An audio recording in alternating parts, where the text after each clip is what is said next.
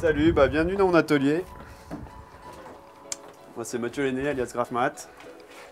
C'est ici dans ce sous-sol que Mathieu a posé toile, bombe et pinceau pour se consacrer à sa passion, le street art. Dans cet atelier, l'artiste prépare ses œuvres et dessine ses esquisses. Il y a un fond à la bombe euh, qui rappelle un peu le côté street. Pareil pour les autres portraits. Une fois que c'est sec, euh, j'aime beaucoup travailler au Posca. Donc c'est des feutres qui sont acryliques et euh, on peut revenir dessus facilement. Et ensuite, c'est des petits, des petits feutres marqueurs où je viens faire du détail. euh, c'est là où je m'éclate, on va dire un peu plus, parce que je vais donner vraiment plus de finesse et c'est le côté un peu euh, bande dessinée qui me plaît et où je peux donner plus de, de réalité. Pour découvrir un autre univers de Graphmat, il suffit de changer de pièce. Ambiance bricolage.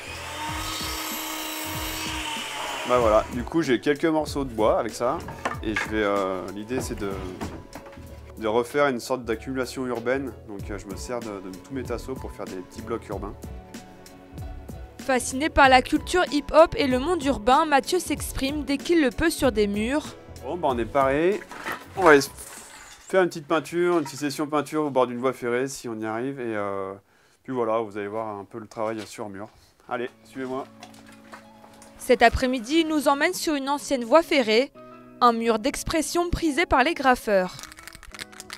Il privilégie ces lieux légaux sans aucun risque. Le faire en vandale, ce serait compliqué, euh, beaucoup trop, trop long à exécuter. En vandale, on ne peut pas rester plus, plus, plus de 5 minutes, 5-6 minutes à, à- à- à placer sa, sa pièce. Donc euh, moi, je suis plus euh, à l'aise avec les brosses, les peintures euh, et prendre mon temps. Né un crayon à la main, il prend plaisir à partager et expliquer sa passion aux plus curieux. Bah, ça me plaît que les gens déjà s'arrêtent et posent la question.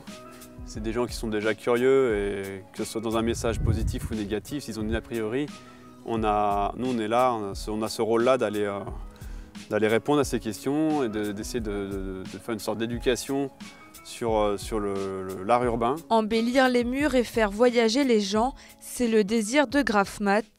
Paris réussi pour cet artiste aux talents multiples.